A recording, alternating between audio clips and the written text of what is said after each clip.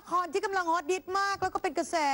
มีทั้งติมีทั้งชม มีทั้งด่ามีทั้งว่า แต่ก็ดูอืมนางทาสสนุกตาย นี่วันก่อนนะเขาไปขึ้นคอนเสิร์ตกันนำทีมดูท่านเจ้าคุณไปดูซิว่าสนุกขนาดไหน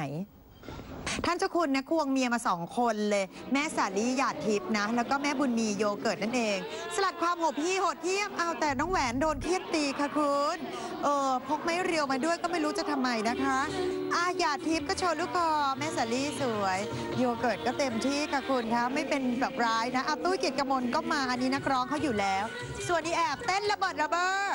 ส่วนไม้เรียวจะยกให้คน เอาไม้เรียวมาแจกแฟนๆดีดี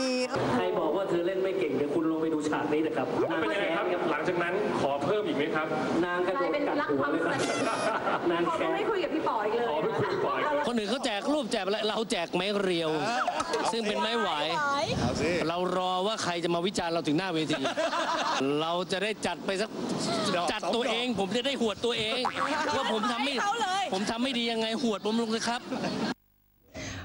พี่คะกรุณาเอาไม้ไปให้เอ๋เมียพี่เถอะค่ะคนที่จะหวดพี่ได้ก็มีอยู่คนเดียวเนี่ยแหละค่ะ